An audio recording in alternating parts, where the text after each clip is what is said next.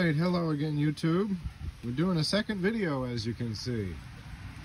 Why are we doing a second video? Because about five minutes ago, big horse trailer, probably from uh, Red Phone or Red whoever up the street. But um, a few minutes ago, it started raining, just opened up. I got an alert on my phone that we had heavy weather coming and sat on the porch with this coffee that I just went and got out of the house.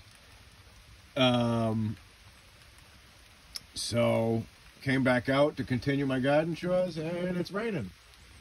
And none of it is really stuff that is overly important. I'm going to get the bone meal after my wife's still not home. She, uh,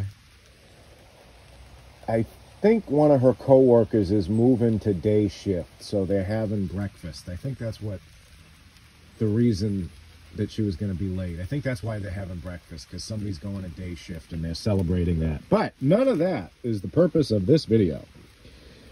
This is the purpose of this video. These are the tools that I use the most in my garden. And first off, this travel mug. This travel mug, every morning I make coffee and put it in this travel mug. And for the two hours that I'm in the garden, this is the coffee I drink. This is what it looks like.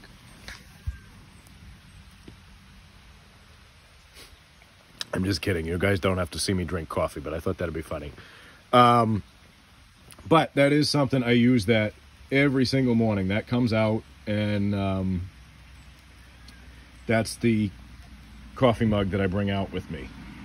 This knife here is always in the part the pocket of my gardening clothes. And the reason I it's a it's a hawkbill knife. See it's got the curve to it. And what this is good for is say this tomahawk, this rigging axe handle, is a stem that I want to cut. I, I like a, I'm pruning or I'm harvesting. The reason I like this curved blade as you can see, you can go behind it and pull through it. Works really nice for pruning suckers off of tomatoes, pruning suckers off of anything. I use this. This is a um, the brand name. I don't know if you can see it. Can you see it? Anyway, the brand name is the same as this knife here, which I'm going to get into. Truly Garden. Now, it's it's a cheap knife. It's like 14, 15 bucks and I only use it for cutting plant material. This this only prunes and harvests. It's not I've I've tried using it to shape wood for a little stake or something for the garden. It's not good metal for that. It's it's it's a good knife for its intended purpose, which is well, there you can see it, which is pruning, uh, pruning of, of green plants and um, harvesting. So I don't use it for much else than that because when I first did it, it kind of dented the blade as I was um, as I was whittling something with it. So I don't really do that anymore. I, I had to clean it back out again. I had to get the, the chips out of it, which was kind of a pain. But it's like a $15 knife. And I got it solely for the purpose of having a pruning knife and for harvesting. I keep it very sharp and it goes through everything. That's the, the good point about having a knife that has really um, cheapy steel to it, cheapy stainless steel. You can you can really sharpen that nice. Um, but this is this is the knife that's always in the pocket of my gardening clothes, my guard the pants that I wear in the garden, and that's the reason I use it. This is just a set of secateurs or, or hand pruners, whatever you want to call them. Um, I don't even know what brand it is. I think I got it at, there's a local store called Ocean State Job Lot.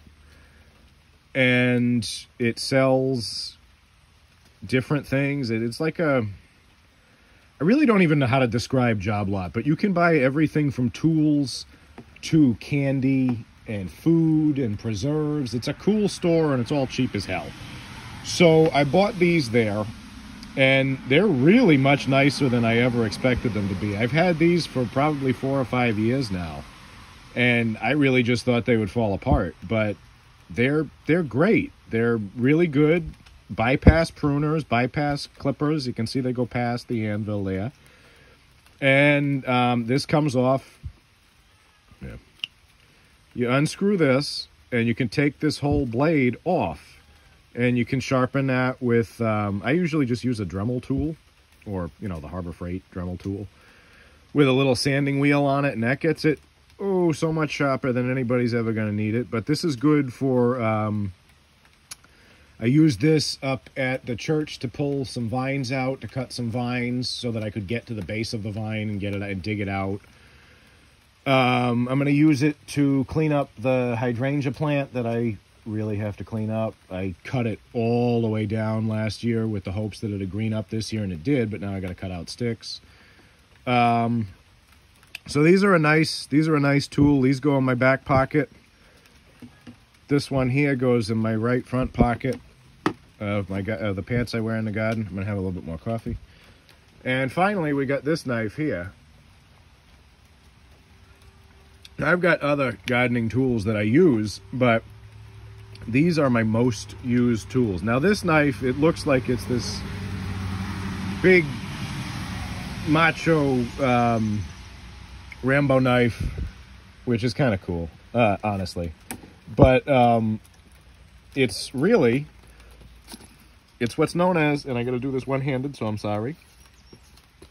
This is a hori hori. That's what it's called. And it's it's a root knife. It's a knife that's made, and it's by the same people who made that little thing there at uh, Truly Garden. This, I have to say, is incredibly better quality than that little guy there. But that's fine because literally all I'm using that knife for is cutting, for pruning, and harvesting. Any heavy duty cutting that I'm doing is probably going to be either with this knife or um, I have a little Opinel that that's around. It's it's the knife that I keep in my regular clothes, but um, sometimes I'll have a buck knife with me. It all depends. But um, this knife, as you can see, it's got a little concavity to it, and it's got marks on it to give you measurements. And it's it's essentially a sharpened shovel that you can wear like a knife. And this here is all, um, you can see it, right? Can you see it? That's all serrated. So this, where this really, really shines is if you have turf or if you have a, a root, a really, really, like if I were to see those, see those bushes there at the front of the church there. If those, if we had to take those out, in addition to using um, like a mattock or a Pulaski and a shovel, I would have this because if there's a good thick root under there, you don't want to put something like this in the dirt and cut it because it's going to dull that up. But that's what this is made for, cutting roots and digging. It's it's essentially a garden trowel with a serrated edge on it. And so when I bought this, when I had when my wife bought me this, I was working for a um, a landscape construction company down in the southern end of Rhode Island. Almost in, actually, the shop that I would drive to every morning was in Connecticut. And we did a lot of ornamental gardening. We did a lot of shrubs. We did, and I actually, I used to have a really nice pair of Felco shears. Uh, it's like a $60 version of these. Uh, those were like 14, 15 bucks but I ended up losing those. But I would, I would, it, my two most used things when I was working there was this knife and a pair of shears like this. And it was a, it was a lot of planting ornamentals, a lot of planting flowers, a lot of trimming hedges, a lot of a lot of really high end um, gardening Everything had to everything had to be perfect. It was you can probably tell from the, the tone of my voice. It was a massive pain in the ass. Um, I I like gardening. I like doing landscaping. I don't like doing it for rich people in Watch Hill, the resort community down there that I worked in, because everything has to. Oh, it has to be perfect. It has to be perfect. I, mean, there were lawns that we'd cut that it, it would be five hundred dollars to cut the lawn, just and we do it twice a week. So the company was making a, a grand off of one lawn. It was ridiculousness. I, I didn't like it, but this tool planted so many ornamental grass bulbs, like the little the thing like this. Oh God! If you drive through Watch Hill and you see ornamental grass, I probably planted it with this. But um, that this thing, it's it's great for weeding. It's great for getting um, the other yesterday. One of my corn plants was cocked at an angle like this, and I wanted it to be up. So I cut a circle around it, nice big circle like the size of a basketball, and propped it back up and tamped it down. And this is the tool that I used to do it. Um, my friend Chris, my friend Chris Grissom told me to do it that way. He said to dig it with a shovel, but I mean, this is what I used. He's the one who told me how to fix the plant.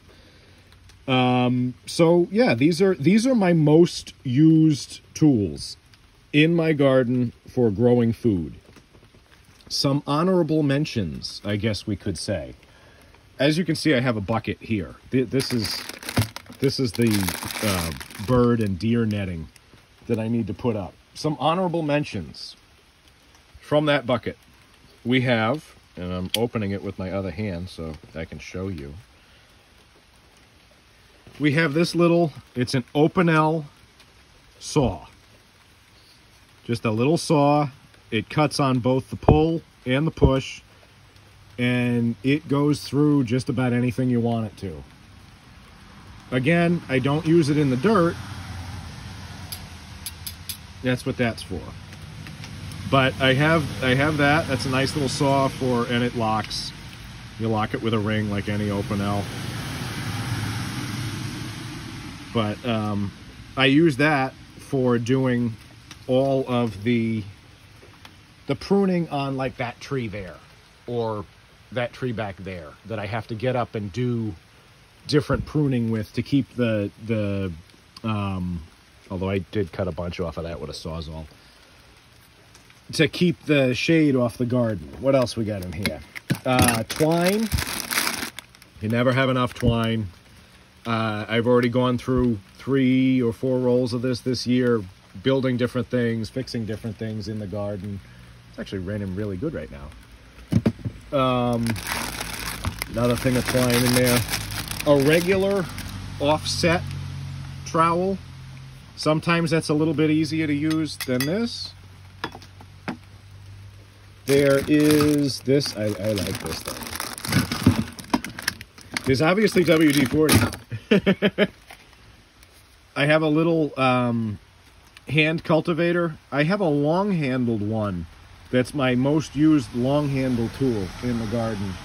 But this is really good for again, this was always in my in the bag that I would take with me when I was doing the gardening in Watch Hill. Um, this was really good for around all of those, and you can't really see, so I don't know why I'm showing you. Around all of the like bushes and stuff that you have to get under. You're on all fours anyway, so you just take this and that rakes out all the um, the weeds and the you can get a hold of vines with it and stuff like that. So little small handheld cultivator. Finally, well, we'll get to that in a minute. Good pair of cheapy leather gloves that you can see I don't really use them that much. I've never really been one that wears gloves a lot.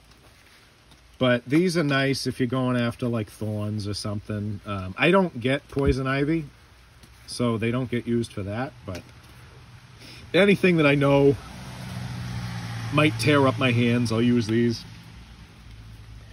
And finally, This is a rigging axe. You can see it's got a big waffled head. It's 28 ounces. Got a long handle. This is actually made, and that's what I was using it for. Only occasionally, because um, most of it's air guns now. But this was made to build oil rigs, wooden oil rigs. And then after World War II, you had the housing boom, and everybody was using these in the tracts of California, to because you can you can drive a I have um, you can drive a framing nail with this in two whacks, one to set it, just a little to set it, and then you bang it in, you bang it in, and it'll drive really nice. You can drive 16 penny framing nails with this, with two whacks. And I've used it for that when our the air the air compressor wasn't working and we had to we really had to get stuff done. I, I was using this, but where I find this really shines is as a bushcraft axe, as a as a garden axe, as something that I'm going to use outdoors to as an axe and to like drive in stakes and stuff. And I find that I use this quite a bit. I made all of the all of the fence posts for the guy. Why is that? Oh, it's got stuff on it. Maybe you can see. Yeah, look at that. All of the fence posts I made with this. The little posts that the um, the bean trellis has there. Chop the ends of them so that they're they're pointed and they'll they'll and that's actually the board I did it with so I wouldn't be doing it on the cement um, this is what I formed them with and then I beat them into the ground with it so when I build the cold frame and the hotbeds this is the axe that I'm going to use to make the um, to make the little stakes that I'm gonna put it up with so these are these are my main tools that I really find very useful in the garden. And I figured since it's raining and I really can't do much anything else, um, I'd make a quick video on them. So there you go. Just some interesting garden tools. Another honorable mention, muck boots. Absolutely love those. I wear those 90% of the time I'm in the garden. They're waterproof, they're warm, incredibly comfortable, I like them quite a bit. I've always wanted a pair of muck boots. My wife got them for me for Christmas this year because she knows we're doing all the. We finally bought the house and we're able to do the farming and everything. So I needed a good pair of muck boots. I couldn't keep wearing the Chepe boots, the white boots, because those were um, they're not they're nice, but they're not warm enough for uh, for like winter work. You have to wear really thick socks. So these are these are the muck boots that I wear. Those are the tools that I use. And this is an extra unexpected video where I'm telling you, I hope wherever you are, you're comfortable. Ooh, my hand's shaking. I hope wherever you are, you're comfortable and that God is with you. Thank you.